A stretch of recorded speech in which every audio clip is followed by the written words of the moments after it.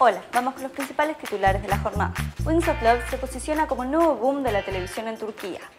Kadir Dogulu y Seda Bakan, los protagonistas del nuevo drama turco de Ayapim y Eco Rights, hablan sobre la nueva producción y explican qué significa formar parte del fenómeno turco.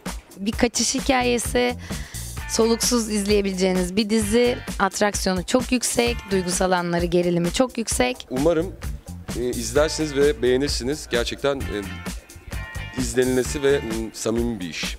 El gasto de Netflix no es sostenible.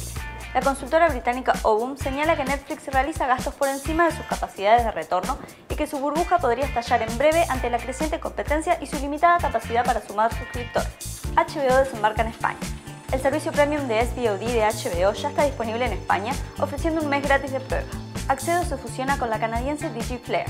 La compañía especializada en el desarrollo de aplicaciones de video Accedo anunció este lunes que fusionará sus operaciones con su par canadiense DigiFlare. The Walking Dead sigue rompiendo récords en América Latina. La séptima temporada viene promediando 1,6 millones de espectadores en América Latina por las diferentes ventanas de Fox, siendo la más exitosa hasta la fecha en la región. Educando a Nina lidera las nominaciones para los premios Tato. La Cámara de Productores Independientes Televisivos, CAPIT, de Argentina, anunció los nominados a los premios Tato. Educando a Nina lideró con 14 candidaturas. Estas y otras noticias ya están disponibles en todotvnews.com.